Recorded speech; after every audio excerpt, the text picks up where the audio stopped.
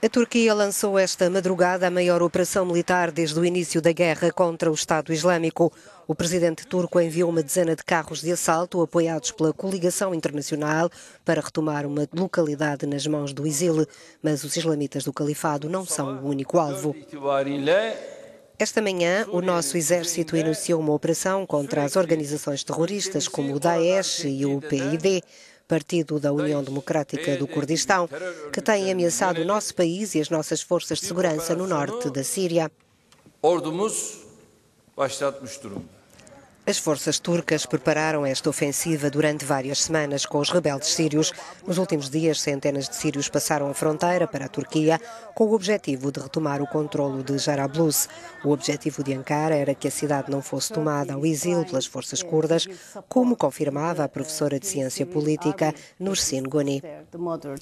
A Turquia estava a tentar ajudar o exército livre da Síria, as forças moderadas, de forma a reconquistar esta terra de Jarablus ao Daesh antes da milícia curda.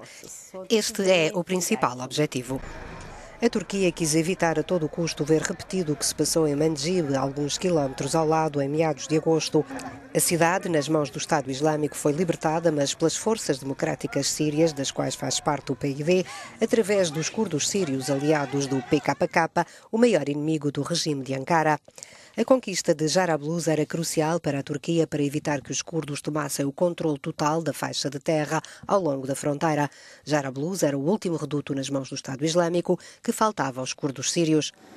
Foi, pois, oficialmente para garantir a integridade territorial da Síria que Erdogan enviou o seu exército. Mas os interesses são, na realidade, outros e todos os apoios são bem-vindos, do presidente do Kurdistão iraquiano, Massoud Barzani, ao vice-presidente americano Joe Biden. E, num xadrez político de regras próprias, Erdogan joga tudo até a aproximação ao inimigo histórico da Turquia, o Irão, e a reconciliação com a Rússia, que desempenha um papel mais do que ambíguo na questão curda. Mas, como o Kremlin sonha com a constituição de um eixo Moscovo-Teherão-Ankara para minimizar a influência americana na região, o entendimento pode ser possível.